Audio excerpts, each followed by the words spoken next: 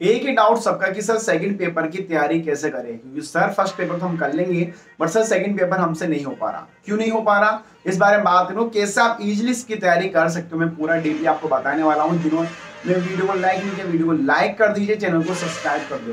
Hello friend and my name is Jitendra Goswami और आपका स्वागत है फिल्लर फॉर्म में जहाँ पर आपको मिलता है बिल्कुल फ्री कंटेंट कोई भी आपसे चार्ज नहीं लिया जाता है। और जिन्होंने अभी तक हमारा एप्लीकेशन डाउनलोड नहीं किया है फिल्लर फॉर्म आप प्ले स्टोर पर जाकर डाउनलोड कर लीजिए, जहाँ पर आपको दोस्तों पंद्रह से बीस मॉक टेस्ट एमसीक्यू क्यू सारा कंटेंट बिल्कुल फ्री मिलेगा, कोई भी आपसे चार्ज नहीं लिया जाएगा। और सेकंड पेपर का भी कंटेंट यहाँ पर बिल्कुल फ्री है। और दोस्तों, साथ में आप दोस्तों व्हाट्सअप ग्रुप भी ज्वाइन कर सकते हैं।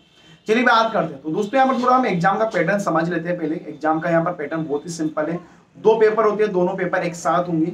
अलग अलग नहीं होगा दोनों पेपर एक साथ होंगे, एक ही दिन होगा। तीन घंटे का पेपर होगा। जहाँ पर फ़र्स्ट पेपर में दोस्तों आपको पचास क्वेश्चन पूछे जाएँगे। सेकेंड पेपर में आपको हंड्रेड क्वेश्चन पूछे जाएँगे। फ़र्स्ट पेपर सबका सेम होता है सिमिलर है, कोई भी चेंज नहीं होता कि आप किसी भी लैंग्वेज से हो या किसी भी बैकग्राउंड से हो।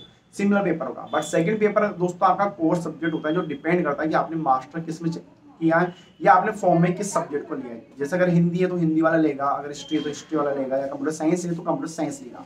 अब यहाँ पर सबसे इंपॉर्टेंट आता है कि दोस्तों सेकंड पेपर काफ़ी हार्ड होता है, क्योंकि यहाँ से हंड्रेड क्वेश्चन पूछे जाते हैं जो बिल्कुल डीपली पूछे जाते हैं। तो दोस्तों काफ़ी लोग कहते हैं कि सर क्या पढ़े, क्योंकि उनको इतना एक्सपीरियंस नहीं। दोस्तों उन्होंने मास्टर किया एज ए थ्योरी यहाँ पर जो पेपर बनता है वो एज ए एमसीक्यू बनता है थोड़ा हार्ड तो रहता ही है। तो चलिए बात करते हैं। दोस्तों सबसे पहले आपको करना क्या है, आपको अपना सिलेबस डाउनलोड करना है। सिलेबस कहाँ मिलेगा आपको दोस्तों? ऑफिशियल वेबसाइट पे जाना है, मेरी पे कॉम पे जाओगे तो वहाँ पर आपको सिलेबस मिल जाएगा। सिलेबस डाउनलोड करने के बाद दोस्तों आपको कुछ भी नहीं करना, आपको ये देखना है कि इसमें से कौन कौन सी यूनिट मेरे को आती है। दोस्तों, दस यूनिट रहेगी तो वहाँ पर मेरे को लगता है अगर आपने मास्टर किया है नॉर्मल या नहीं किया तो वहाँ पर आपको एक या दो, तीन, चार यूनिट तो आ जाएगी। सबका अलग अलग सीन होगा, किसी को दो आएगी, किसी को तीन, किसी को चार, पर दस में दस तो किसी को भी नहीं आने वाली। क्योंकि दोस्तों, कुछ यूनिट होती है जो आउट ऑफ़ मास्टर आपसे आती है, ठीक है? अब जो आपको यूनिट आती है, वो आपको एक अलग से राइट डाउन करना है कि ये तो मेरे को आता है। अब हमारे पास ज़्यादा टाइम भी नहीं है, एक महीने का टाइम रह चुका है और सेकंड पेपर काफ़ी बड़ा है। तो आपको क्या करना है, जो यूनिट आपको नहीं आती है, जैसे मतलब बात कीजिए दोस्तों, दस में से आपको तीन यूनिट आती है। सात ही आई तो सात के लिए आपको करना क्या है? सात के लिए दोस्तों आपको उनको अलग अलग टाइम देना पड़ेगा।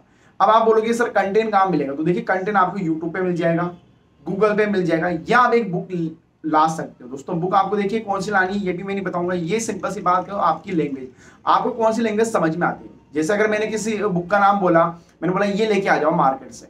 अब वो लैंग्वेज आपको समझ में नहीं है तो वो भी बेकार हो। तो आपको कुछ नहीं करना, आपको शॉप पे जाना है मार्केट पे, और वहाँ पर आपको देखना है कि कौन सी बुक की लैंग्वेज आपको समझ में आ रही है।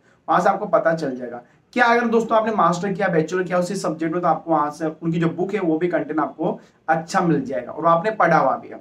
या फिर अगर आपके पास नोट्स है, या आपके फ्रेंड सर्किल में किसी के पास नोट्स मास्टर के नोट नेट एग्ज़ाम के मास्टर के नोट्स है तो आप वो ले सकते हैं। इतना लेने के बाद दोस्तों आपको करना क्या है?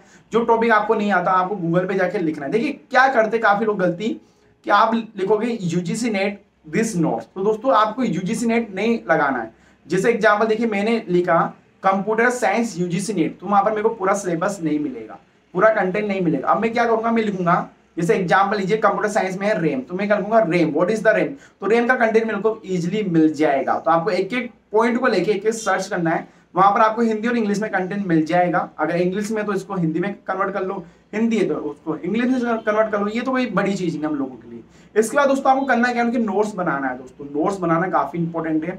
अब काफ़ी लोग कहेंगे कि, सर, इतना टाइम ही नहीं है। देखिए दोस्तों, मैं आपको एक चीज़ बता दू नोट्स जो है आपके, वो फ्यूचर तक काम आने वाले फ्यूचर साइंस इज़ कि अगर आपका नेट क्वालिफाई होता है, जब आप किसी कॉलेज में पढ़ाने जाओगे तो वहाँ पे आपके नोट्स काम आएँगे। सेकंड पेपर आपका हर जगह काम आएगा। अगर आप पीएचडी भी करोगे, फिर भी आपका सेकंड पेपर ही काम आएगा, ना कि फ़र्स्ट पेपर तो फोकस आपको सेकंड पेपर पे करना है।